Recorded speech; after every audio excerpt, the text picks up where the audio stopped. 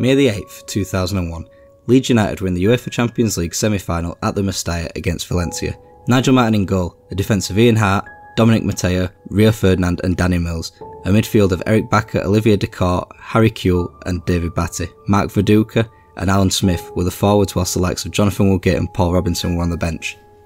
May the 8th, 2004. Leeds were held at home to Charlton in a 3-3 draw. They were relegated to the Championship. Alan Smith had played one of his last games for Leeds United and was held aloft by the Elland Road faithful. From those who played in the Champions League semi-final three years prior, just Smith, Hart and Matteo remained at the club. May the 8th, 2010. Leeds secured promotion from League One with a 2-1 win of Bristol Rovers. Leeds have remained in the second tier of English football ever since. Nobody from the 2001 match with Valencia remained at the club. Where did it all go wrong? Some might argue former chairman Peter Ridsdale. Leeds-born Ridsdale became chairman of the club in 1997 and under his premiership they reached successive European finals in 2000 against Galatasaray and 2001 against Valencia. By Ridsdale's departure in 2003, Leeds had sold over £50 million worth of players but remained £100 million in debt. Leeds United had spent over £100 million on players in Ridsdale's tenure.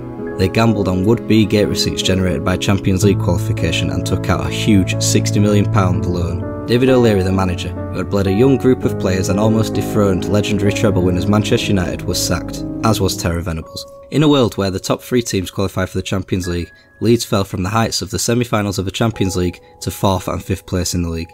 Interests on loans rose as gate receipts dwindled. Rio Ferdinand, Robbie Keane, Lee Bowyer, Jonathan Woodgate, Robbie Fowler, Harry Kewell, Olivier Dacourt, Nigel Martyn, Paul Robinson, Alan Smith, James Milner, Mark Viduka, Ian Hart, Nick Barmby, Dominic Matteo, Danny Mills and Michael Bridges were all sold prior to Leeds United's first season out of the Premier League in 2004-5.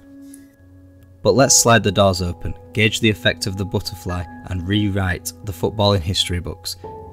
Here's what would have happened if Leeds United weren't forced to sell up.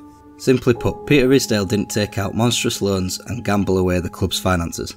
Leeds United were riding the crest of the Champions League semi-final wave. They finished fourth and were dumped into the UEFA Cup. The £20 million that would otherwise have been splurged on Seth Johnson and Robbie Fowler remained unspent. Instead, Stephen McPhail didn't go out on loan and James Milner was promoted from within. With just one loss away at Sunderland, Leeds trailed Newcastle at the top of the Premier League on goals scored, with both sides on 34 points. Arsenal and Liverpool were a point behind, whilst Chelsea and Manchester United were four points behind.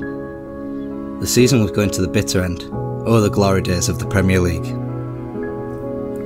The fixture list had thrown up a horrid January for Leeds, but in the space of four weeks they went undefeated against the other members of the top five, being held at Stamford Bridge and at home to Liverpool, whilst thrashing Newcastle at St James's Park to go top, heading into the business end of the season.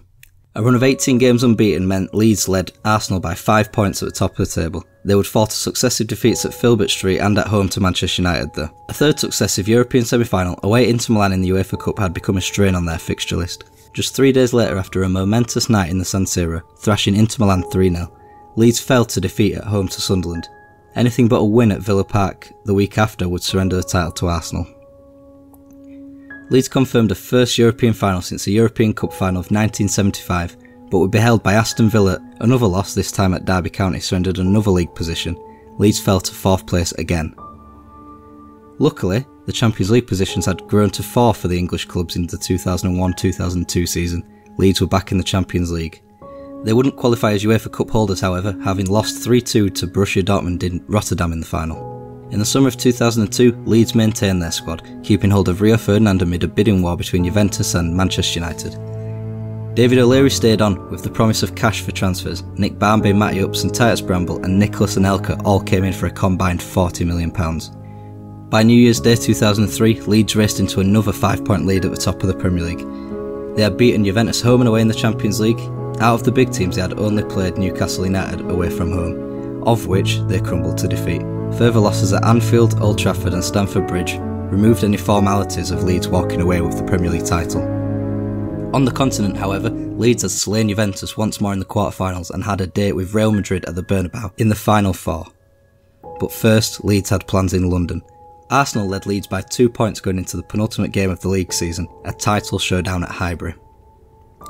Goals from Harry Kewell and Nicolas Anelka were cancelled out by Thierry Henry and Dennis Bergkamp. The clock ticked down.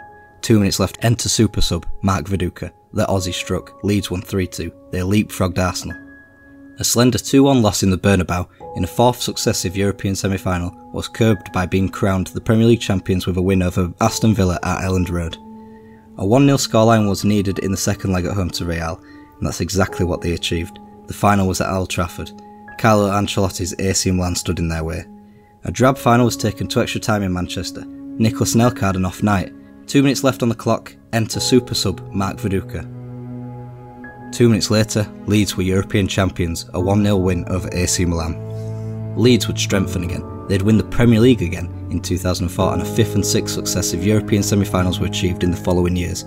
Peter Ridsdale would sell the club in the summer of 2005, with David O'Leary being courted by the likes of Bayern Munich and Barcelona. Due to club successes, Jonathan Woodgate, Rio Ferdinand, Alan Smith, and Lee Bowyer were all included in an England side beaten in the 2006 FIFA World Cup final by Italy. May 8, 2019. Leeds completed their 21st successive top six finish in the Premier League since Peter Ridsdale came to the club in 1997. Let's march on together towards the winners and losers. Peter Ridsdale, winner. The Leeds born businessman didn't gamble away Leeds United's future and remained patient with Leeds' successes, far inflated in this alternate universe. Manchester United, losers. Their 2002 3 Premier League triumph was put on the back burner thanks in part to a lack of Rio Ferdinand signing and Leeds' lack of player exodus. AC Milan and Carlo Ancelotti, losers.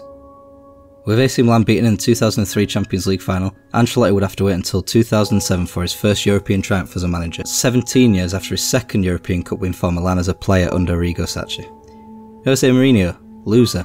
With Leeds' league win in 2005, Mourinho was sacked at the end of his first season in England with Chelsea. He ran back to Portugal with his tail between his legs and was successful in the UEFA Cup and the league with Benfica.